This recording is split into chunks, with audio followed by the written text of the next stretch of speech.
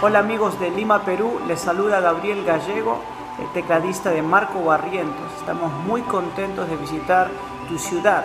El sábado 7 de febrero tendremos un concierto a las 7 de la noche en el Parque de Lima y en la mañana estaremos con unas clínicas musicales donde toda la banda estará participando.